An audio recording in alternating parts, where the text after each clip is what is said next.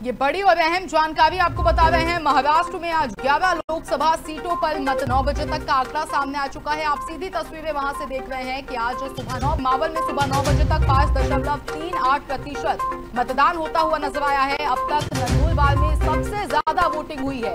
ये बड़ी खबर महाराष्ट्र से सामने आ रही है, जहाँ आज 11 लोकसभा सीटों पर लगातार मतदान जारी है। साथ ही आपको बता दें 9 बजे तक का यह आंकड़ा सामने आ गया है, जहाँ महाराष्ट्र में छह दशमलव चार पाँच प्रतिशत मतदान अब तक होता हुआ नज़र आया है। वहीं पुणे में सुबह नौ बजे तक छह दशमलव छह एक प्रतिशत मतदान हुआ है। ये तस्वीरें आपको महाराष्ट्र से दिखा रहे हैं। रावेल में सुबह नौ बजे तक सात दशमलव एक चार प्रतिशत मतदान होता हुआ नज़र आया है। वहीं जालना में सुबह नौ बजे तक छह दशमलव आठ आठ प्रतिशत मतदान हो चुका है। ये बड़ी खबर सामने आ रही है। जलगांव में सुबह नौ बजे तक छह दशमलव एक चार प्रतिशत मतदान हुआ है। ये महाराष्ट्र से सीधी तक छह दशमलव आठ तीन प्रतिशत मतदान अब तक हो चुका है। नंदुरबार में सुबह नौ बजे तक आठ दशमलव चार तीन प्रतिशत वोटिंग होते हुई नज़र आई है। साथ ही आपको बता दें कि शिरूर की अगर बात करें, तक चार दशमलव नौ मतदान अब तक हो चुका है। अहमदनगर में सुबह नौ बजे तक पाँच दशमलव एक तीन प्रतिशत मतदान हो चुका है। भीड़ में सुबह नौ बजे तक के आंकड़े की अगर बात करें तो छह दशमलव सात दो प्रतिशत वोटिंग होती हुई नज़र आई है। मावल में सुबह नौ बजे तक पाँच दशमलव तीन आठ प्रतिशत मतदान हो चुका है। साथ ही आपको बता दें कि अब तक नंदुरबार में सबसे ज़्यादा वोटिंग हुई है। ये महाराष्ट्र से सीधी तस्वीरें आपको दिखा रहे हैं। मतदान केंद्रों की जहाँ लगातार मतदाता अपने मत का प्रयोग करते हुए नज़र आ रहे हैं और सुबह नौ बजे तक का यह आंकड़ा सामने आया है। महाराष्ट्र में छह दशमलव चार पाँच प्रतिशत वोटिंग हो चुकी है। इस खबर पर तमाम जानकारी के साथ महाराष्ट्र से संवाददाता मंगला वागी जी हमारे साथ मंगला, महाराष्ट्र में जिस तरीके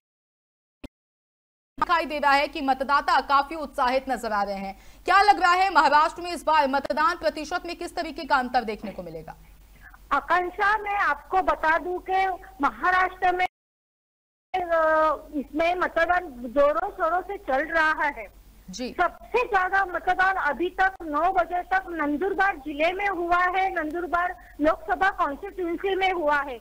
मैं आपको बता दूँ कि वहाँ से बीजेपी की हिना गावित तीसरी बार चुनाव लड़ी लड़ रही है जो महाराष्ट्र महाराष्ट्र के मंत्री आदिवासी मंत्री विजय कुमार गावित की बेटी है और तीसरी बार चुनाव लड़ रही है। वहाँ में अभी तक 8.43 परसेंट मतदान हो चुका है। उसके खिलाफ गोवाल पाडवी जो कांग्रेस के उम्मीदवार है वो चुनाव लड़ रहे हैं। सबसे कम मत, मतदान अभी तक शिरूर कॉन्स्टिट्यूंसी में हुआ है लोक शिरूर लोकसभा इसमें हुआ है वहाँ में अ, जी। अमल कॉलेज है अमोल कोले चुनाव लड़ रहे हैं वहाँ उनके खिलाफ है शिवसेना के शिंदे गुट के शिवाजीराव अढलराव पाटिल चुनाव मैदान में है और पूना में सबसे छह पॉइंट सिक्सटी वन परसेंट मतदान हुआ है। वहाँ भी सुरक्षा के पुख्ता इंतज़ाम किए किए गए हैं। भाजपा का जो परंपरा परंपरागत तो वोटदार है मतदार मतदार है। वो सब सबसे पहले चुनाव के लिए मतदान करने के लिए घर से बाहर निकल चुका है। वहाँ भी भारी तादाद में मतदारों की राग लगी है मतदान करने के लिए। वहाँ में पुणे में बीजेपी के मुरलीधर मोहन और उनके खिलाफ कांग्रेस के और रविंद्र भंगे का जो सिटिंग एमएलए है वो चुनाव लड़ रहे हैं। ये परंपरागत सीट बीजेपी की है उसके पहले गिरीश बापट यहाँ से चुनाव लड़ते थे।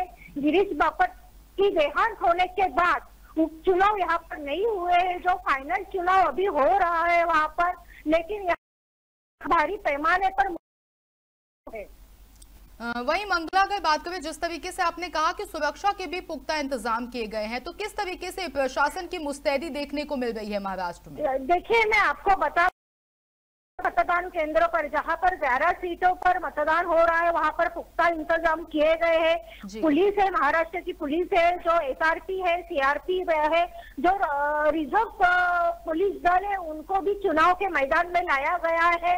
जहाँ पर हॉट सीट है भीड़ भीड़ की जहाँ पर गोपीनाथ मुंडे की बेटी पंकजा मुंडे जो पूर्व मंत्री भी महाराष्ट्र में रह चुकी है वो भीड़ से चुनाव लड़ रही है।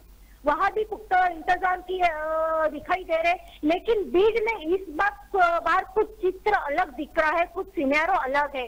पिछले वक्त पिछले 2019 में जो चुनाव हुए थे उसमें धनंजय मुंडे के खिलाफ पंकजा मुंडे लड़ रही थी।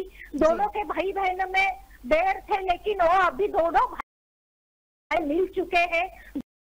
जो पक्ष के जो मतदार है वो भी अभी बीजेपी से पंकजा मुंडे को वोट दे रहे हैं। उसके पहले 2019 में पंकजा मुंडे की सिस्टर जो मुंडे वहाँ से चुनाव लड़ चुकी थी। इस बार पंकजा मुंडे की नाराज़गी दूर करने के लिए बीजेपी ने पंकजा मुंडे को टिकट दी है और उसके साथ अभी भाई बहनों का मिलाप यहाँ पर अपने को दिखने, दिखाई दे रहा है। जो धनंजय मुंडे उनके खिलाफ थे, उनके पक्ष में अपने वोट डाल रहे हैं।